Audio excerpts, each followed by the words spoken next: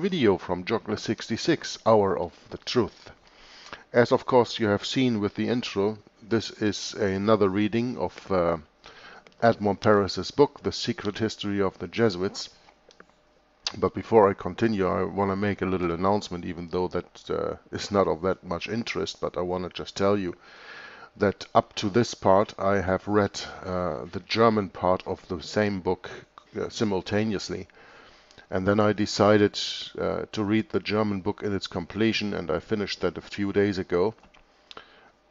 Two days ago, to be precise. Today's we, today we have the 15th of uh, August 2017. And so now I'm starting to read the English version of The Secret History of the Jesuits in its completion. So within the very next few weeks that I can complete this and then after that start my next project in English as I'm starting my next project in German also. Just want to tell you that the simultaneous reading I, I've stopped for the moment. So this is today the next part of the reading, The Secret History of the Jesuits. We are still in section 4, in chapter 4 and it's been quite a while since I have been reading, I think uh, uh, several months even. so I have to get into it a little bit, but yeah, you know, I just read the German part, so in that case it's not so bad. I guess I'm quite into this. So without any further ado, let's uh, continue here. The wonderful book from Edmond Paris, the Secret History of the Jesuits in Chapter 4. The rebirth of the Society of Jesus during the 19th century. So we are speaking about, in this part of the book, the time of the revival of the Jesuits who have been actually been banned by a papal bull, uh, Dominus Ac Redemptor, uh, forever. Forever. So when the popes then uh, a little bit later in 1817 are declared infallible by the council by the Vatican Council in 1870 the first Vatican Council. They are declared infallible. How can it be that a pope signs a order to banish the Jesuits yeah forever and ever and just 41 years later, I, I, I, thought I had a picture of this here, but I, I don't. And just 41 years later, uh, the Jesuits are reinstalled in their service again. I, I don't get it. Maybe you get it. How are the popes infallible if that happens? Anyway, let's start the rebirth of the Society of Jesus during the 19th century. We mentioned that the author starts here that when Clement the, nine, uh, the 14th was constrained to suppress the Jesuit order, he apparently said, I have cut off my right hand. The phrase seems plausible enough. The Holy See must certainly have found it hard to part with its most important instrument in the, in the domination of the world. The order's disgrace, a political measure imposed by circumstances, was gradually uh, attenuated by the successors of Clement XIV, Pius VI and Pius VII. All both antichrists. Never ever forget the papacy is the antichrist. Antichrist Pius VI and Pius VII gradually attenuated the Jesuit order. Yeah and if the official eclipse of the Jesuits lasted 40 years, or 41 from 1773 to 1814, it was because of the upheavals in Europe resulting from the French Revolution. In any case, that eclipse was never total. Why was this eclipse of the Jesuit order being uh, how do I want to say that? Being banished totally, never total. Because during the banishment of the Jesuits, the Illuminati rose up. The German Jesuit professor at Jesuit um, Ingolstadt University in Bavaria, Adam Weishaupt, founded the Illuminati and the meaning of the Illuminati was, or the purpose of the Illuminati was to take over the work of the Jesuits during their suppression. It's easy as that.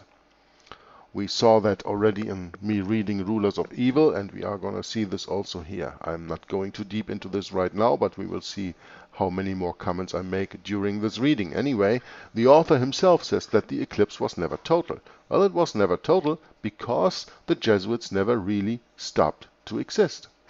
Quote, Most of the Jesuits had stayed in Austria, France, Spain, Italy, mingling with the clergy.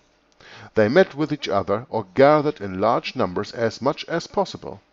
In 1794 Jean de Tournely founded the Society of the Sacred Heart in Belgium as a teaching body. Many Jesuits joined it. Three years later the Tyrolean Paccanari, who thought it was another, who, who thought he was another Ignatius de Loyola, founded the Society of the Brothers of Faith. In 1799 the two societies merged with Father Clorivière as the head. He was the only surviving French Jesuit, Father Clorivière. In 1803 they joined the Russian Jesuits. Something coherent was coming back to life again, but the masses, and even most of the politicians, did not recognize it at first. The French Revolution and then the Empire gave the Company of Jesus an unexpected credibility again. It was a defensive reaction against new ideas springing up in the ancient monarchies. Napoleon I described the society as, quote, very dangerous. She will never be allowed in the empire, unquote. But when the Holy Alliance triumphed, the new monarchs did not disdain the help of the absolutists in bringing back the people to a strict obedience. But times had changed. All the skill of the good fathers could only delay and not stop the propagation of liberal ideas, and their efforts were more harmful than useful, as always. In France, the Restoration experienced it in a bitter way. Louis XVII, an unbeliever and clever politician, tried to contain the rise of the ultras as much as he could. What are the ultras? We are speaking of the ultramontane, meaning the totally to the Pope devoted Jesuits. Uh, Tridentine Jesuits, if you uh, if you want to see it that way. Yeah.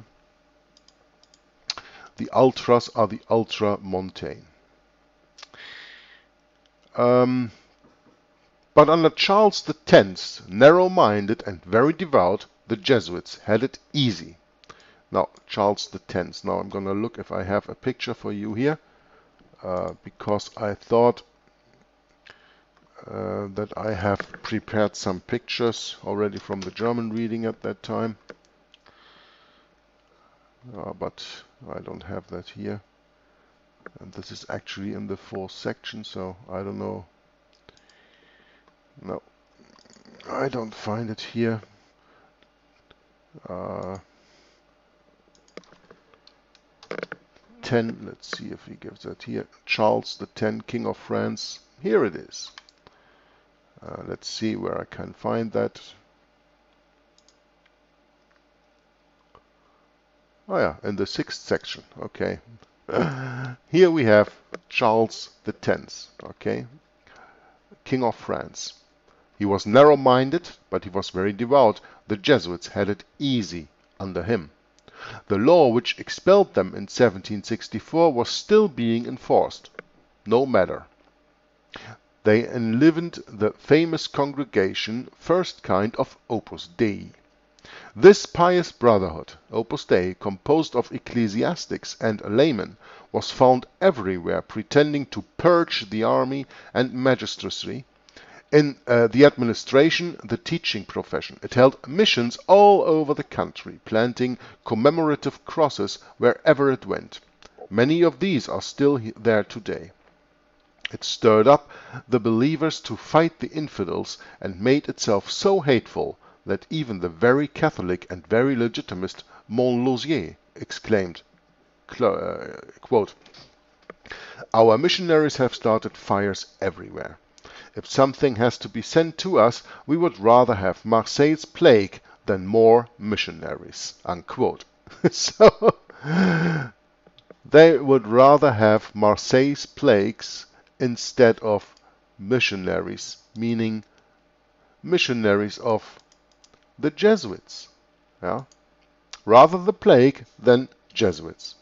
In 1828, Charles X withdrew the order's right to teach, but it was too late. The dynasty collapsed in 1830.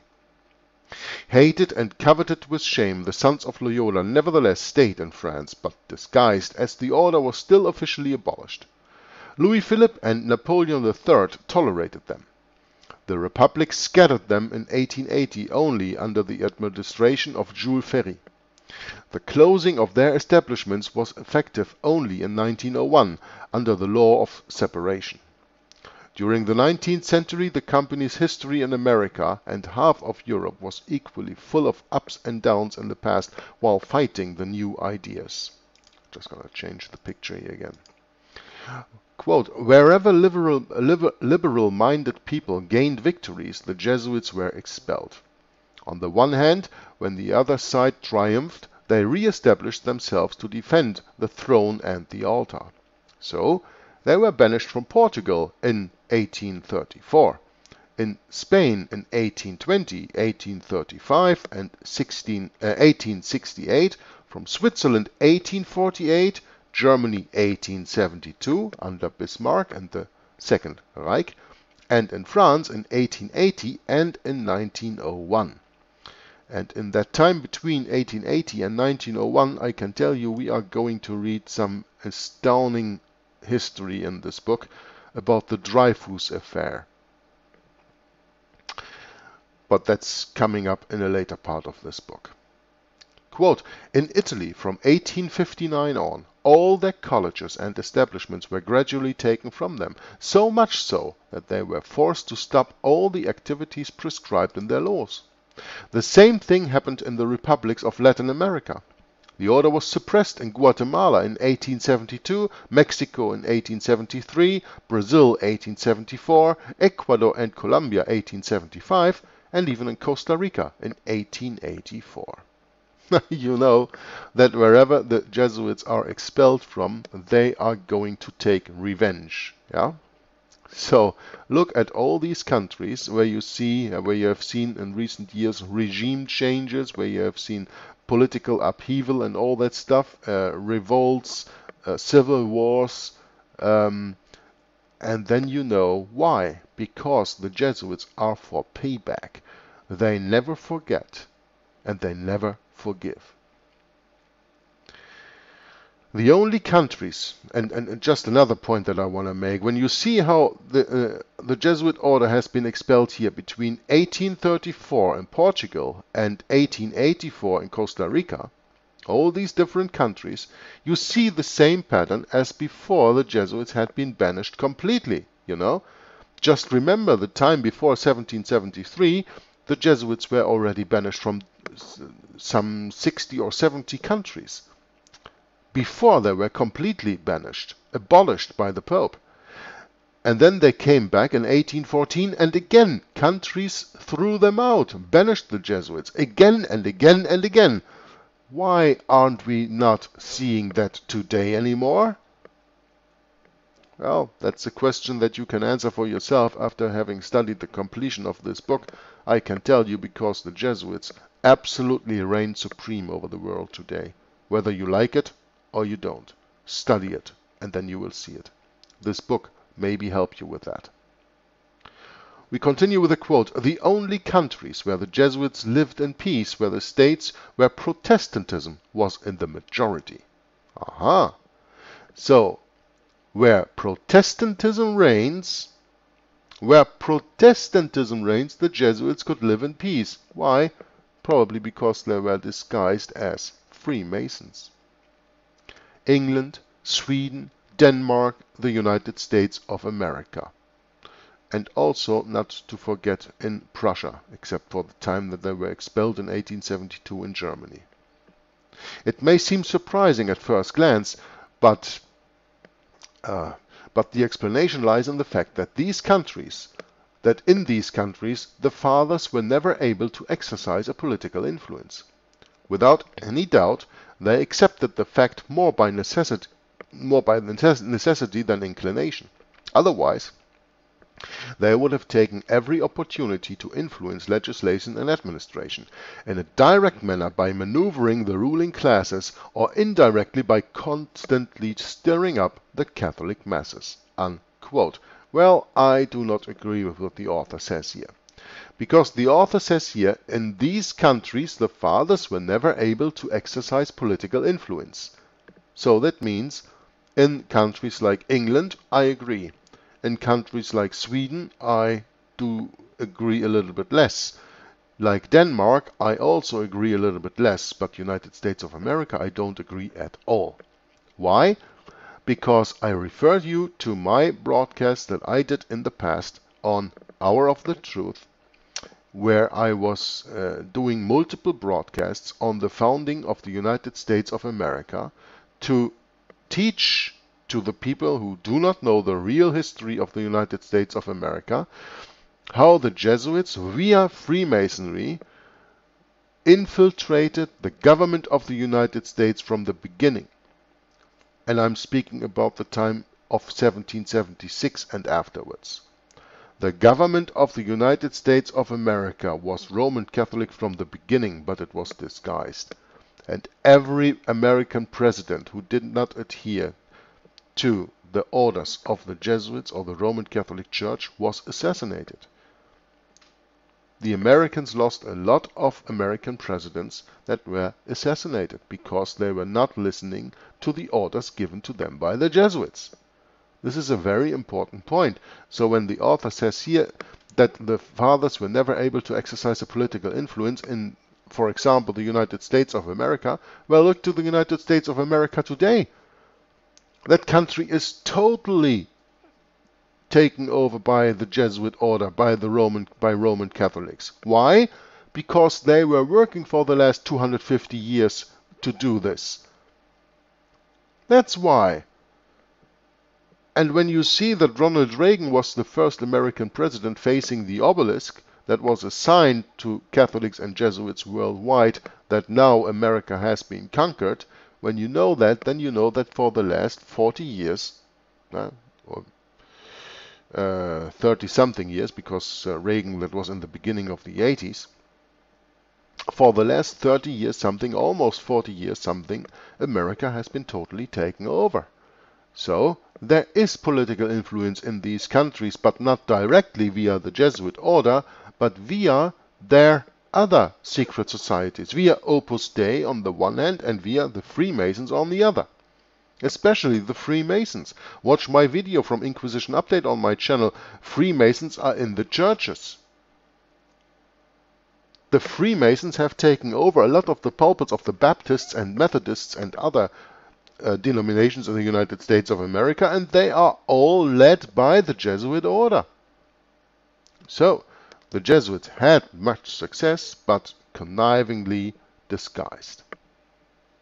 Anyway, to continue here and then bring this little part of this book to a uh, completion. To be truthful, this immunity of the Protestant countries towards Jesuitic ventures was far from complete. In the United States, wrote M. Philip Miller, the company has deployed a systematic and fruitful activity for a long time, and she is not hindered by any laws. Quote, I am not happy about the rebirth of the Jesuits, wrote former President of the, uh, of the United States John Adams to his successor Thomas Jefferson in 1816. Quote, Swarms of them will present themselves under more disguises ever taken by even the king of the gypsies as printers, writers, publishers, school teachers, etc. If ever an association of people deserved eternal damnation on this earth and in hell, it is this Society of Loyola. Yet with our system of religious liberty we can but offer them a refuge. And Jefferson answered his predecessor, like you, I object to the Jesuits' re-establishment, which makes light give way to darkness. Unquote. the fears so expressed were to be proved right one century later, as we shall see. One century later, you ask, dear listener? Yes, because you have the reinstallation of the Jesuits in 1814 and you have the start of the First World War in 1914, a century later, as the author here explains. Okay, let's go on to chapter 5. In section 4 it is called the Second Empire and the Falloux War Law, the War of 1870. So we are diving into a real history of France, uh, because the author, Edmond Paris, is French. And he is speaking about the Second Empire of France. And we are speaking about the time after the French Revolution. So in the previous chapter we mentioned the wide tolerance enjoyed by the Society of Jesus in France under Napoleon III, even though it was officially prohibited. Now Napoleon III, let's see if I have his picture here. I thought I did prepare that. Yeah, here it is, Napoleon III. So we can enjoy his picture here when we are reading here uh, on him. In any case, it could not be otherwise, as that regime owed its, exist, uh, its, its existence, largely at least, to the Roman Church, whose support never failed as long as the regime lasted. But it was to be very, very costly for France. Yeah. As we will learn when we read on in this book, it is always very costly for the countries when the Jesuits have anything to say in these countries. The readers of the Progrès du Pas-de-Calais, a publication for which the future emperor wrote several articles in 1843 and 1844, could not then suspect him of lenience towards ultramontanism, judging from the following: Quote, "The clergy demands, under the cover of freedom of teaching, the right to instruct youth." Oh, uh, what, what, what did we just read here? The clergy demands, under cover of freedom of teaching, the right to instruct youth. So that means that the spiritual power, the church, demands, under the cover of freedom of teaching, the right to instruct youth. You see, this is why we today are all made Catholic without even our knowledge because our complete school system, our complete teaching system in schools, in universities, everywhere is in hands of the Roman Catholic Church. So when we are not aware of that, that doesn't change the fact that Roman Catholic teaching is taught to us and to our children and to our grandchildren all over the place and has been taught to our parents and our grandparents before. We have to wake up to that deception that in school you really learn something that can advance you in this life. The only thing that you can learn from is the Bible. And the Bible is not taught in schools, the Bible is not taught in libraries and not taught in universities. So it's Roman Catholicism, Gnosticism that is told everywhere. Learning against learning. Remember from rulers of evil? The learning of the teaching of man against the teaching of God. Learning against learning. Medici learning. That is still what is today. And here we have another point where the author says that in this quote from uh, Napoleon III, who wrote several articles here it, it says the clergy demands, the clergy, that is the church hierarchy, demands under the cover of freedom of teaching the right to instruct youth. The state, on the other hand, so the civil power, also demands the right to direct public instruction for their own interests. So, you have a conflict of interests between the civil power and the ecclesiastical, the spiritual power. This struggle is the result of divergent opinions, ideas and feelings between government and church. Both want to influence the new generations coming up in opposite directions and for their own benefit. We do not believe, as one well-known orator does, that all ties between the clergy and civil authority must be broken in order to stop this diversion. Unfortunately, France's ministers of religion are generally opposed to democratic interests. To allow them to build schools without control is to encourage them to teach the people the hatred of revolution and liberty. And again, the clergy will stop being ultramontane as soon as one compels them to be brought up as formerly in an up-to-date manner and to mingle with the people gaining their education from the same sources as, uh, as the general public. Now, referring to the way in which German priests were trained, the author clarifies his thoughts in the following manner. Quote, Instead of being shut away from the rest of the world from childhood and so be, uh, uh, and so be instilled in the seminaries with hatred for the society in which they must live, they would what is this now? uh, they would uh, where is uh, what is this? they would, and then it continues. Ah, yeah, yeah, okay, this is uh, another kind of writing here, so this makes it difficult for me. I'm, I'm very sorry for this uh, little mishap here, but uh, let's see. Um, referring to the way in which German priests were trained, the author clarifies his thoughts in the following manner. I'm gonna change the picture here, and then we're gonna continue. Quote, Instead of being shut away from the rest of the world from childhood and so be instilled in the seminaries with hatred for the society in which they must live, they would learn early to be citizens before being priests. Unquote. That's quite an interesting quote, don't you think? Let's read this again. Instead of being shut away from the rest of the world from childhood and so be instilled in the seminaries with hatred for the society in which they must live, they would learn early to be citizens before being priests. This did not encourage political clericalism for the future sovereign, than a Carbonari.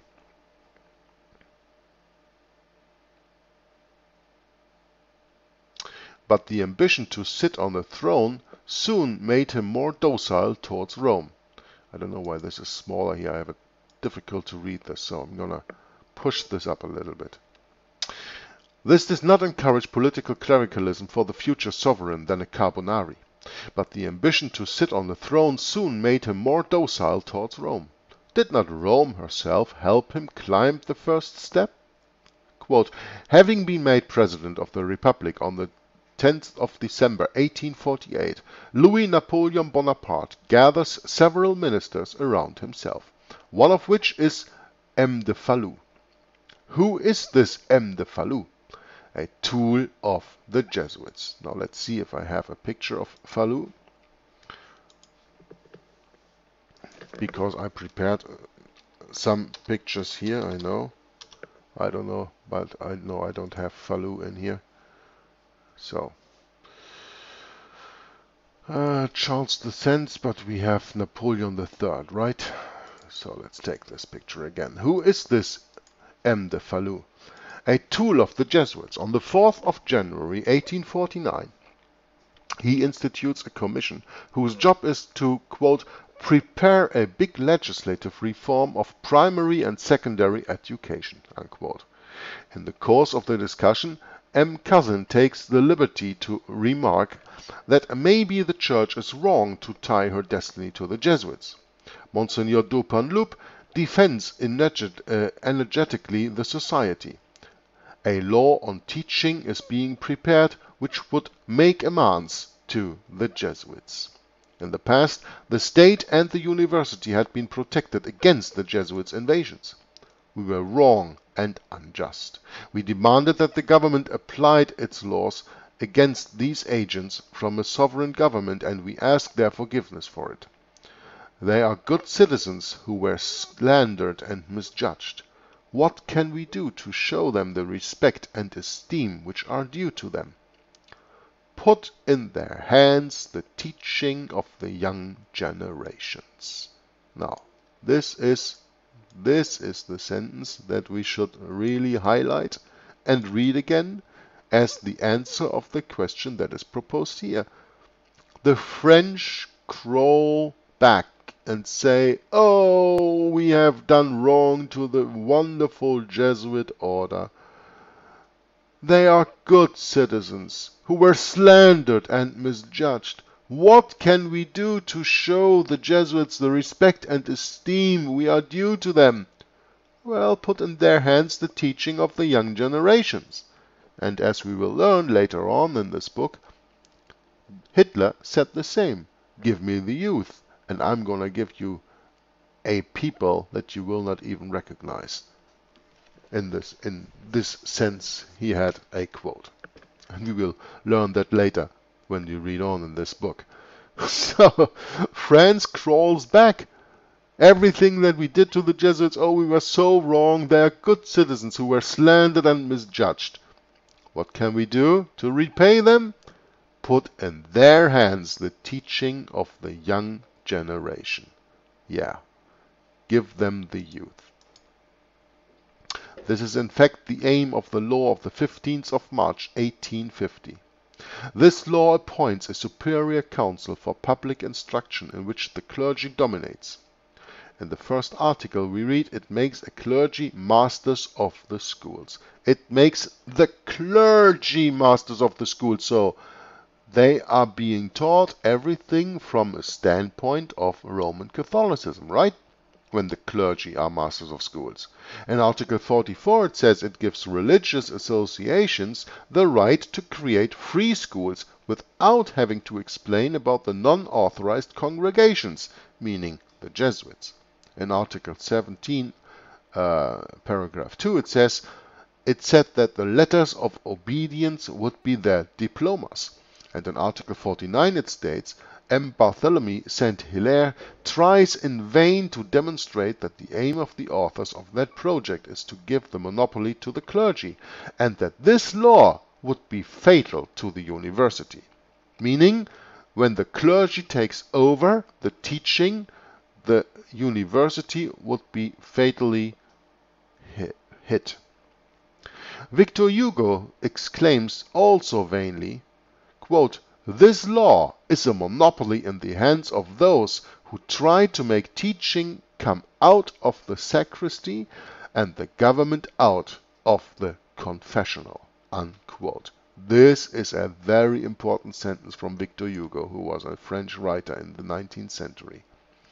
This law, Victor Hugo says, is a monopoly. you know, this law um, on the 15th of March of 1850 that we speak about here is a monopoly in the hands of those who try to make teaching come out of the sacristy and the government out of the confessional. So that means that teaching and government are completely in spiritual hands, completely in the hands of the Antichrist Church of Rome. But the assembly ignores these protestations.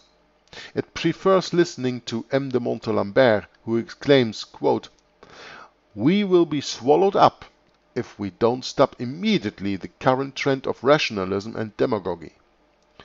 What's more, it can be stopped only with the help of the Church. Unquote. Monsieur de Montalembert adds these words to make sure the significance of this law is well described. Quote, to the demoralizing and anarchical army of teachers we must oppose the army of the clergy. Unquote. But the law was passed. Never before in France had the Jesuits won a more complete victory. A complete victory, you ask? Yes, because, as we've just read here before, as Victor Hugo exclaims, that we try to make teaching come out of the sacristy and the government out of the confessional. That is a complete victory of the Jesuits in France. How did they achieve that? First of all, by getting rid of all the kings who did not do their bidding completely and the French Revolution. And now they are back. Monsieur de Montalembert admitted it proudly. He said, quote, I am defending justice by backing as well as possible the government of the Republic, which has done so much to save order and maintain the union of the French people. It especially rendered more services to the Catholic Church than all the other governments in power during the last two centuries. Now all this happened more than 100 years ago from the standpoint of Edmond Paris in 1975 when he published the book, but seems rather familiar today, he says. So, what does Edmond Paris mean in this little sentence? All this, what we've just read, the establishment of the Jesuit order giving them the freedom of teaching in that country, happened more than a hundred years ago, but seems rather familiar today, even now in 1975, when this book was published. But let us see how the Republic presided over by Prince Louis Napoleon, was acting internationally. So we are back to Napoleon III. I'm gonna give you, uh, I'm gonna give you a, another picture of Napoleon III here. We just can't get rid of this guy. The revolution of 1848 had, amongst their repercussions in Europe, provoked the uprising of the Romans against Pope Pius IX, their temporal sovereign who had fled to Gaeta. The Roman Republic had been proclaimed. Through a scandalous paradox, it was the French Republic, in agreement with the Austrians and the King of Naples, who put back the throne the undesirable uh, who put back on the throne the undesirable sovereign. Quote, a French regiment besieged Rome, took it on the 2nd of June 1849, and restored pontifical power, it managed to maintain itself with the help of a French division of occupation which left Rome only after the first disasters in the Franco-German War of 1870. You know, the Franco-German War, that was the war that um, Bismarck fought against the French for the liberty of the Second German Reich that he founded then in 1871 that uh, went down in 1980 with the end uh, 1918 with the end of the very first World War. Um, but more interesting even to understand uh, with this is that this French division uh, uh of, uh, of occupation, which left Rome only after the first disasters in the Franco-German War, um, this leaving of of the Rome, of the Vatican, of the French troops actually happened in 1866, a forerunner of 1870. And this 1866 is important then because it goes back to the prediction in Revelation and in Daniel where we speak about the 1260 years that lasted the reign of the Antichrist that lasted from 606 to 1866. Not, as you probably all have been taught by Seventh-day Adventists, from 538 through 1798 but from 606 to 1866. And for that I refer you to the book of Romanism and the Reformation by Henry Grattan Guinness, where you can read that. And I refer you also to the book of Alexander Hislop, The Two Babylons, where you can read the same. But let's continue here. This beginning was very promising. Quote, the coup of the 2nd of December 1851 brought about the proclamation of the Empire. Louis Napoleon, President of the Republic, had favored the Jesuits in every way. Now Emperor, he refused nothing to his accomplices and allies. The clergy poured out its blessings and Te Deum profusely on the massacres and proscriptions of the 2nd of December. The one responsible for this abominable ambush was looked upon as a, provincial, a providential savior. The Archbishop of Paris, Monseigneur Sibour, who saw the massacres on the boulevard, exclaims, The man who was prepared by God has come. The finger of God was never more visible than in the events which produced these great results. What is this Monsignor Sibour speaking about? About this Napoleon III. He is the quote-unquote man of God because the Jesuits have been completely restored in France at that time. Yeah? So, the Bishop of Saint-Flour said from his pulpit, on the other hand, quote, God pointed out Louis Napoleon. He already had elected him to be emperor. Yes, my dear brethren, God consecrated him beforehand through the blessing of his pontiffs and priests. He acclaimed him himself. Can we not recognize God's elect? Unquote. What God is he talking about? Of course, the God of the Roman Catholic Church, which is Satan. The man who was prepared by God, the man who was prepared by God on earth, as he calls himself, the pontiff, the pope, has come, he says here, and speaking about the emperor, who completely restored the Jesuits at the time in France and gave them the possibility to proclaim all these laws of the education of the youth. The Bishop of Nevers falsely saluted Providence's visible instrument. Quote, These pitiable adulations, which could be multiplied still further, deserved a reward. This reward was a complete freedom given to the Jesuits as long as the empire lasted. The Society of Jesus was literally master of France for 18 years. She enriched herself, the order of the Jesuits, multiplied her establishments, and spread her influence. Her action was felt in all the important events of that time, especially especially in the expedition to Mexico and the declaration of war in 1870. The empire means peace, declared the new sovereign. But barely two years after he acceded to the throne, the first of all those wars which succeeded each other throughout his reign started.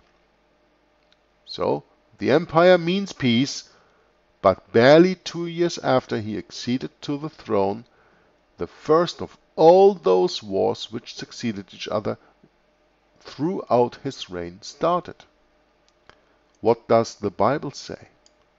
Through peace he will destroy many, the Antichrist. And Napoleon III is nothing more than a puppet in the hands of the Antichrist. Through peace he will destroy many. The empire means peace, he says, and then he starts wars.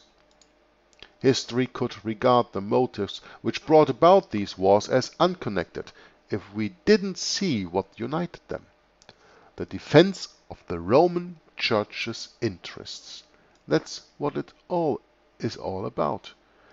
There is never fought a war in this world that is not in defense or in advancement of the Roman Church's interests, the Roman Catholic Church, the Church of Antichrist is really going on. We are speaking now about the Crimean War, the first of these mad enterprises which weakened us and was not nationally profitable is a characteristic example. It was not someone anti-clerical, but the Abbé Brugerette, who wrote, quote, One must read the speeches the famous Theatine Father Ventura gave in the chapel of Les Tuileries during Lent 1857. He presented the empire's restoration as God's work, and praised Napoleon III for having defended the religion in Crimea and made the great days of the Crusades shine a second time in the East. The Crimean War was regarded as a compliment to the Roman expedition. It was praised by the whole clergy, full of admiration for the religious fervor of the troops besieging Sebastopol. Sainte-Beuve movingly narrated how Napoleon III had sent an image of the Virgin to the French fleet. Now, the Crimean War that we are talking about here is, of course, a war against Russia, Crimea, right? Why? because there is the Orthodox Church. And the Orthodox Church is an enemy of the Roman Catholic Church. But I think we even go deeper into the Crimean War later on in this book, so let's continue reading here. What was this expedition which aroused the enthusiasm of the clergy? M. Paul Lyon, member of the Institute, explains, quote, A quarrel between monks revives the question of the East. It was born out of rivalries between the Latin and the Eastern Orthodox churches regarding the protection of the holy places in Palestine. Who would watch over Bethlehem's churches, hold the keys, and direct the work?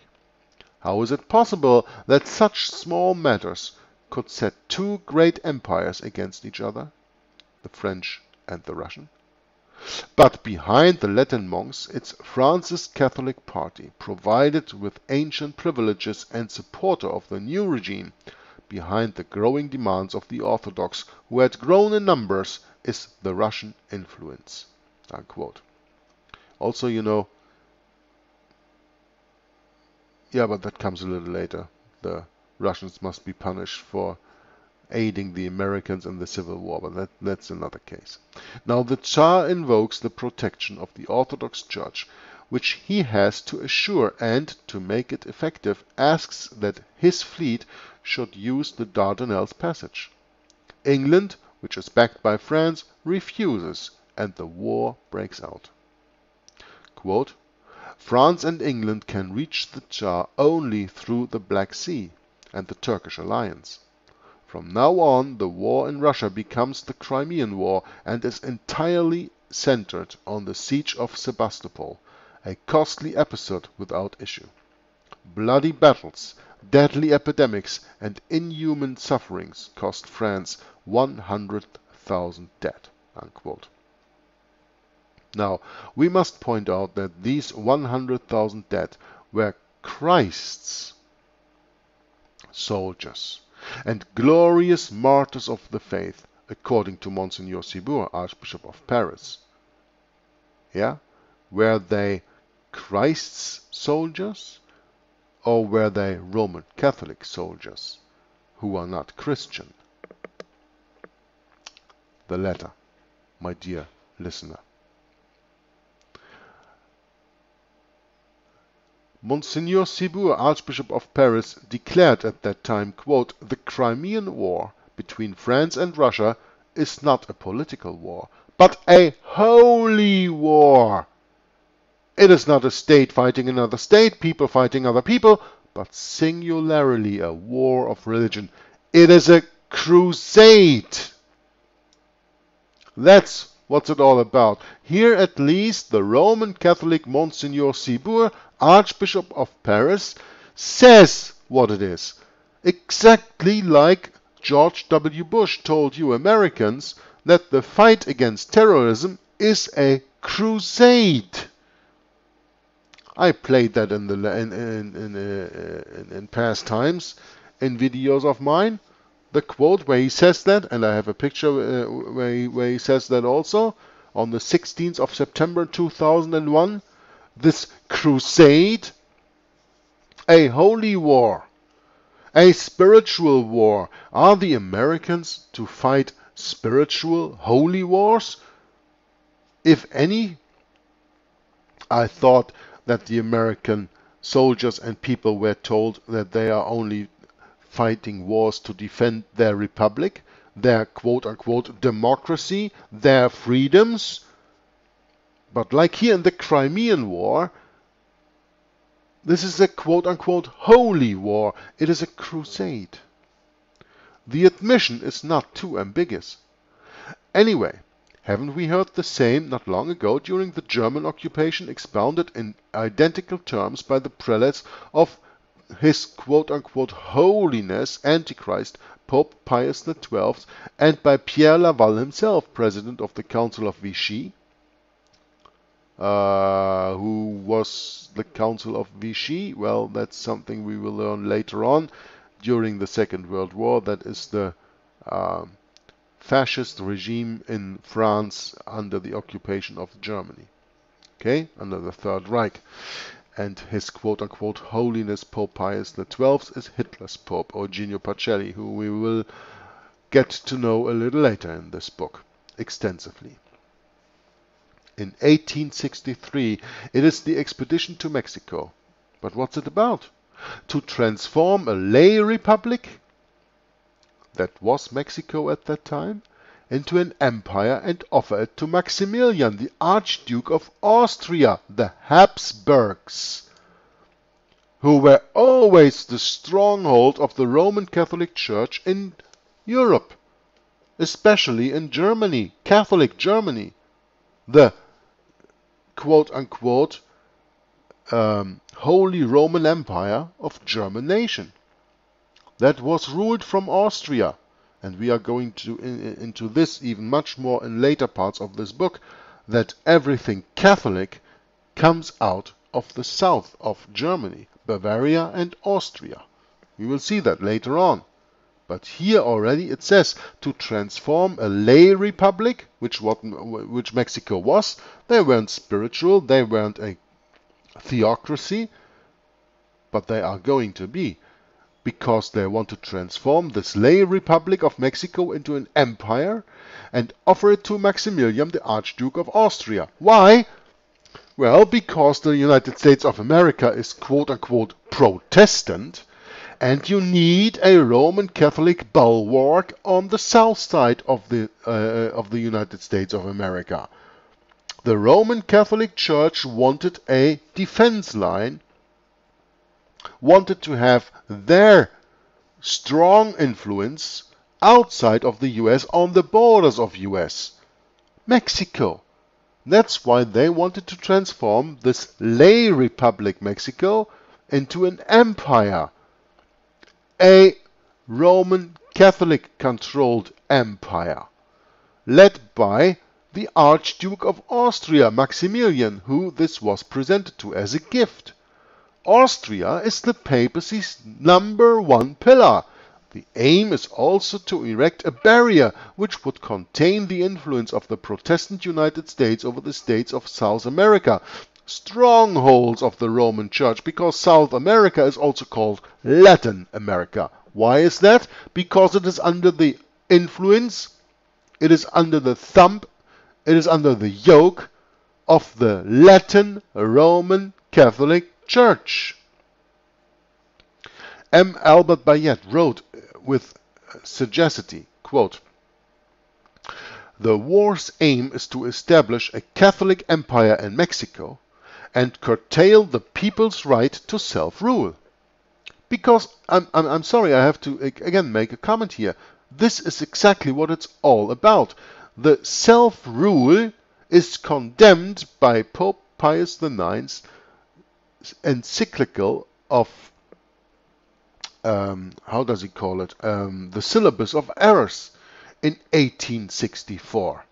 Yeah? The people do not have a right to rule themselves. Everyone must be ruled by the Pope of Rome. Going back to Unam Sanctam, Antichrist Pope Boniface VIII in 1303, when he said, in the bulla unam sanctam, it is absolutely necessary for the salvation of every human creature to be uh, subject to the Roman pontiff. The Roman Catholic Church does not allow any self-rule. So when Mexico here was a lay republic that ruled itself, where the people ruled itself, like America has written in their constitution, a government of the people, by the people, for the people, then the Pope has to intervene. Intervene with a holy war, with a crusade to turn Mexico into a Roman Catholic part of the empire, of the part of the Roman Catholic Empire. The war's aim is to establish a Catholic empire in Mexico and curtail the people's right to self-rule or abolish, as during the Syrian campaign and the two Chinese campaigns it tends especially to serve Catholic interests. Unquote. We know how, in 1867, after the French army had re-embarked Maximilian, the unfortunate champion of the Holy See was made prisoner when Queretaro surrendered and was shot dead, making way for a republic of which the victor Juarez was president. Now, when you look at the years when this happened, uh, in 1867, that is right at the end of the Civil War of the United States of America. Don't you see that that Civil War was also only a distraction? That the American people could not see what was going on south of their borders? When the freedom of the people to rule themselves was taken from the Mexicans and they were put into the Catholic Empire under the rule of Prince Ferdinand of the Austrian of Habsburg, the Archduke of Austria? when the Americans are occupied with their own civil war, they don't care what's going around outside of the borders, right? I think this is also a point that we should address when we study history and see that one war is fought to divert the attention from another war. Now, nevertheless, the time was getting nearer when France was to pay once again much more dearly for the political support the Vatican assured the imperial throne. While the French army was spilling its blood in the four corners of the world and getting weaker while defending interests which were not hers, but the interests of the Roman Catholic Church, Prussia, under the heavy hand of the future Iron Chancellor, which is Bismarck, was busy expanding its military might in order to unite the German states in a single bloc. Austria was the first victim of its will and power. In agreement with Prussia, which was to seize the Danish Duchies of Schleswig and Holstein, Austria was cheated by her accomplice. The war which followed was soon won by Prussia at Sadowa on the 3rd of July 1866, and this is about the time when the French troops were revoked from the Vatican that protected the Vatican at that time. The end of the 1260 days, which I was talking about a little bit earlier. It was a terrible blow for the ancient Habsburg monarchy, which was declining. The blow was just as hard for the Vatican, as Austria had been for so long its most faithful stronghold within the Germanic lands. From now on, Protestant Prussia will exercise her hegemony over them, unless the Roman Church finds a secular arm capable of stopping completely the expansion of the heretic power. Without going too far into the future, I can tell you right away. Protestant Prussia took over the rule in Germany and the papacy didn't like it. And you had at that time, of course, Bismarck, uh, who was, let's see where we have uh, Bismarck. Do I have him here somewhere as a picture? Oh, no. I'm gonna show you a picture of Bismarck, who was the Iron Chancellor of uh, the Second Reich. And um, Look, this is just a picture of, of the person himself. This is uh, Bismarck, who was the Protestant Chancellor of Prussia and the founder of the Second German Reich between 1871 and uh, 1918. And here you have a memorial, which is in Hamburg. He, his family comes from outside of Hamburg, where I come from. From now on, the author says, Protestant Prussia will exercise her hegemony over them, unless the Roman Church finds a secular arm capable of stopping completely the expansion of the heretic power. Well, that's what the Roman Catholic Church did with Adolf Hitler. And we are going into that later on in this book reading. Adolf Hitler comes from Austria, comes from the land of the Habsburgs. Yeah? And started a putsch in Bavaria, a coup d'etat in Bavaria for what he went into prison, and then later he was elevated Chancellor of Germany. He came out of the south of Germany, he came out of Austria, he came out of Bavaria, the Catholic stronghold all the years in Germany. So when the author says here, from now on, Protestant Prussia will exercise her hegemony over them unless the Roman Church finds a secular arm. A secular arm, what was Adolf Hitler? A spiritual arm or a secular arm? Capable of stopping completely the expansion of the heretic power. Meaning, the power of Protestant Prussia has to be stopped and therefore the Roman Catholic Church has to find a secular arm to stop it. And that's what they did when they found Adolf Hitler. But how can play this part in Europe apart from the French? How can play who sorry, but who can play this part in Europe apart from the French Empire? Napoleon III, the man sent by Providence, will have the honor uh, will have the honor of avenging Sadowa. Uh, this page just didn't go over. The French army is not ready. Quote, the artillery is out of date. Our cannons are still loaded through the muzzle, wrote, a French minister of Frankfurt, who can see disaster coming. Prussia knows of her superiority and our lack of preparation, he adds with many other observers. The war instigators are not concerned. The candidature of a Hohenzollern prince for the vacant Spanish throne is the excuse for that conflict. Also, Bismarck wants it. When he faked the dispatch of Ems, the advocates of war had the game in their hands and they aroused public opinion.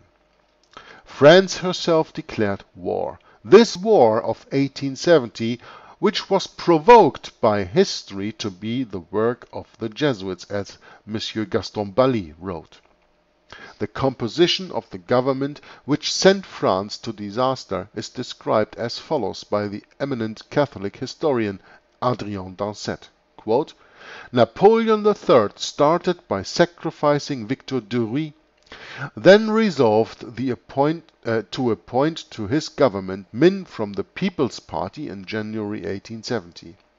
The new ministers were nearly all sincere Catholics or ecclesiastics believing in social conservatism. Unquote. It is easy to understand now what was inexplicable. The haste of this government of this government to extract a casus belli from this faked dispatch even before receiving a confirmation.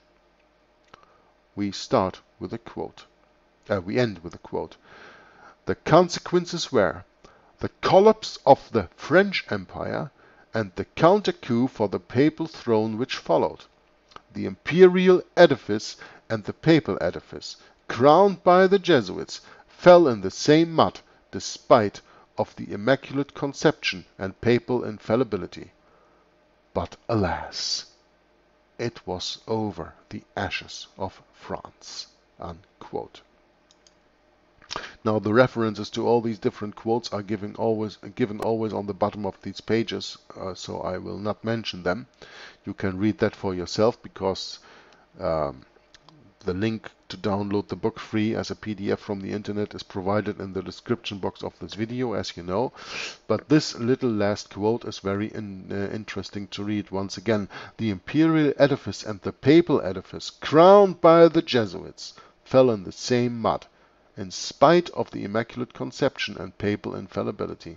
The Immaculate Conception of Mary and the papal infallibility, which was endorsed, which was put upon uh, the Vatican Council in 1870 by the Jesuits did not stop the coming down of the Second Empire of France.